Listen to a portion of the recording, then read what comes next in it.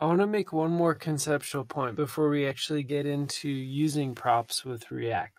This here is from the YouTube homepage. And while I'm pretty sure the YouTube homepage doesn't use React since Google is the main backer of Angular, the concept will remain the same. Think for a second how this page may be developed in React.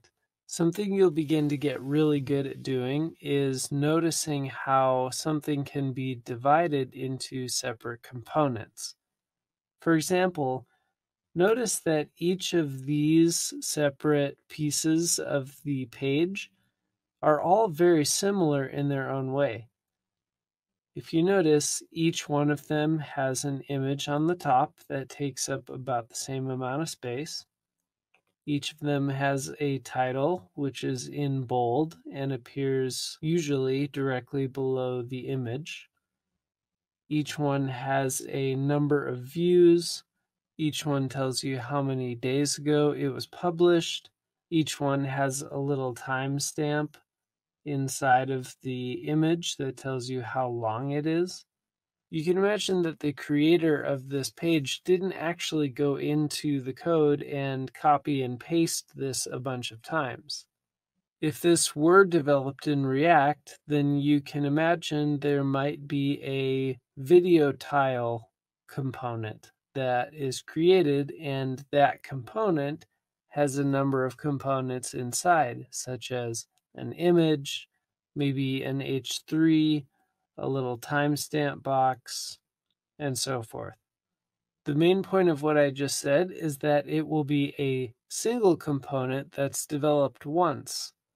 But we need to make it so that that component can change depending on the different properties, such as the image URL or the title. That's what we're going to be working on in the next video.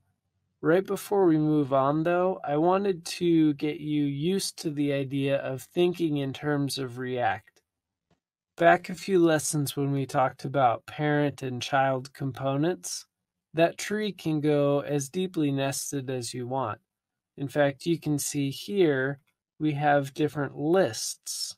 So there may be a component that is a list component, which renders a number of video tile components, which in themselves render an image and an H3 or whatever, like we talked about.